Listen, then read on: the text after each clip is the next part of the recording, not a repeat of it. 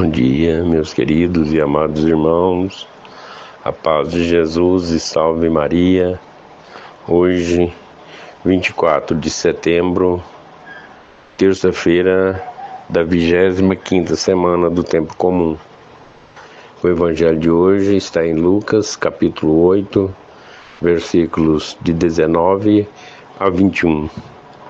O Senhor esteja convosco, ele está no meio de nós.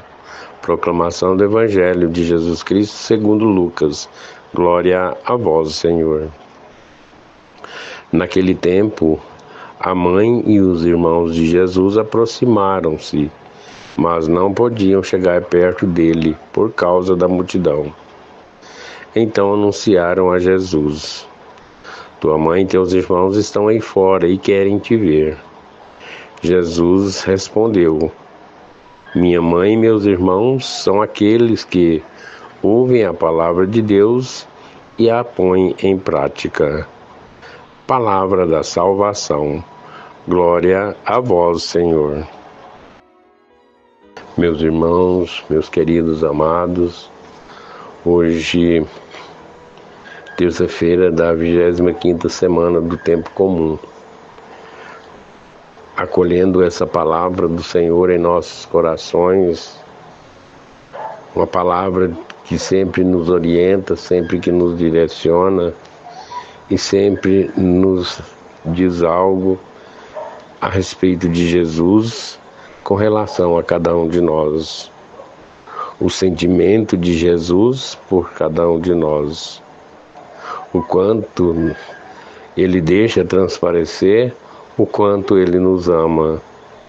Em todas as suas mensagens, Ele sempre nos refere como filhos amados, como queridos do Senhor. E hoje, embora o Evangelho tão pequenininho nos diz algo tão importante, nos diz algo tão valioso. O Evangelho inicia-se assim. Naquele tempo, a mãe e os irmãos de Jesus aproximaram-se, mas não podia chegar perto dele por causa da multidão. A mãe e os irmãos de Jesus. Às vezes nós ficamos na dúvida e alguma coisa nos coloca em nossa mente essa relação, esse parentesco de Jesus.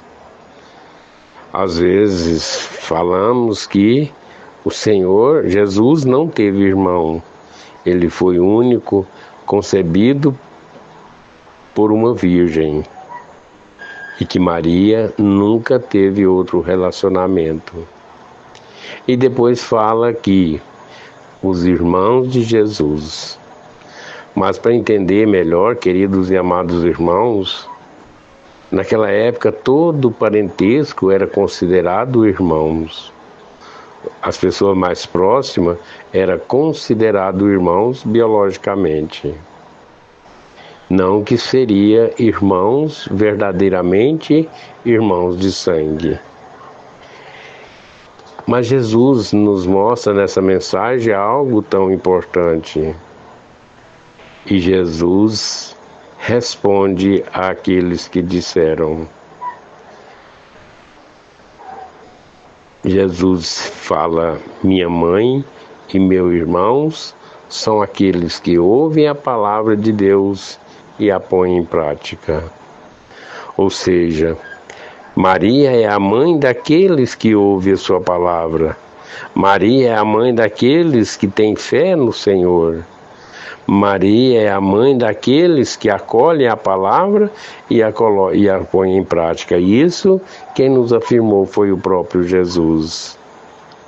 Portanto, queridos e amados irmãos, o quanto é importante ouvir essa palavra e a colocá-la em prática, colocá-la em ação, fazer com que essa palavra chegue a outras pessoas aqueles as quais ainda não conhecem. Essa é a missão dada por Jesus a cada um de nós.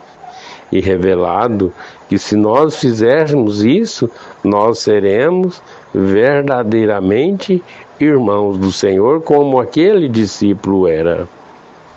Nós seremos filho da, da mãe de Jesus, como aquele discípulo também era, por ocasião das, da transferência da maternidade a cada um de nós pelo próprio Jesus. O Evangelho toca nossa temática em alguma medida. Na pregação de Jesus, percebemos que, para ser discípulo do Senhor, não importa o grau de parentesco, mas sim a fé despertada pela escuta generosa da palavra e a prática da vida. Assim nos tornamos filhos, assim nos tornamos parente, assim nos tornamos íntimos de Jesus. Jesus não está negando os vínculos naturais e biológicos. Contudo, a ênfase está na caracterização do discípulo do Senhor, que, além de ouvir a palavra, se deixa transformar por ela.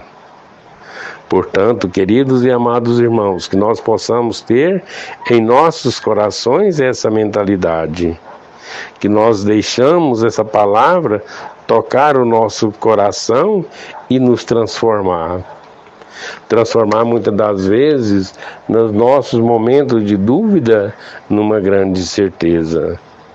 Especialmente a certeza de que o Senhor sempre nos ama, sempre nos acolhe e sempre quer nos bem. Que Deus nos abençoe hoje e sempre.